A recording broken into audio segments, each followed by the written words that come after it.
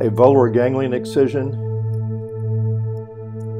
begins with a skin incision localized directly over the mass. You can see I'm dividing the skin and fat, exposing the cyst beneath.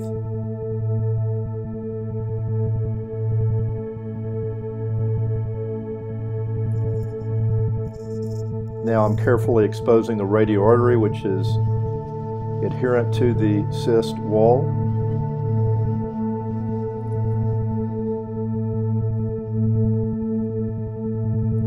I'm going to carefully retract the radial artery away from the cyst.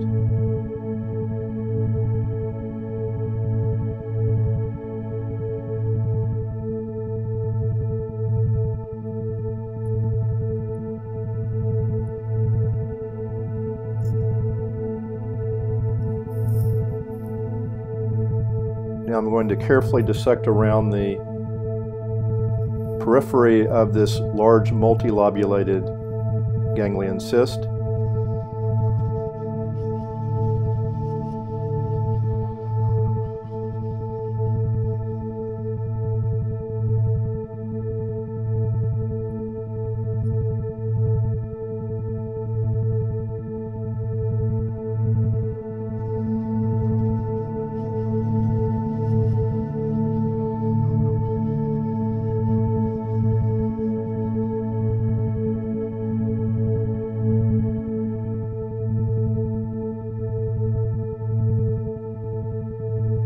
Now you can see a, the nice stalk or root of the cyst going down into the radiocarpal joint.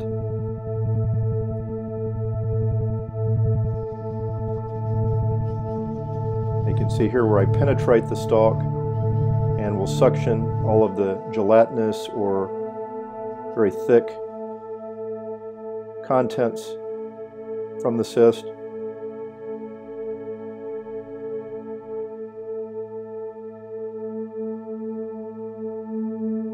Now you can see where I divide the stalk of the cyst as deep as possible.